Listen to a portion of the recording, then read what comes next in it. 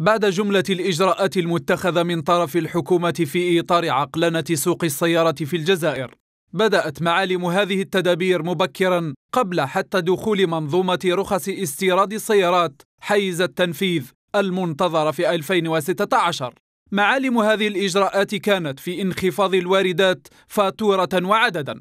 وأشارت آخر نشرية للمركز الوطني للإحصائيات التابع للجمارك إلى أن فاتورة واردات السيارات خلال الأشهر العشرة الأولى من 2015 بلغت 2.86 مليار دولار مقابل 4.4 مليار دولار خلال نفس الفترة من 2014 أي بانخفاض يقدر ب 35.3%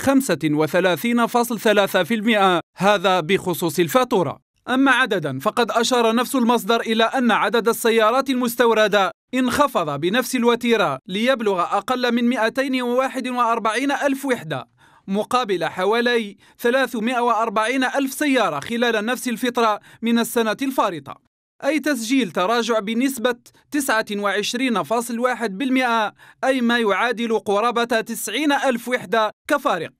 وتشير أرقام الجمارك التي تخص 45 وكيلا ينشط في السوق الوطنية إلى وجود منحا تنازلي بالنسبة للعلامات الأوروبية خاصة الفرنسية والألمانية حيث عرفت انخفاضا في القيمة والعدد.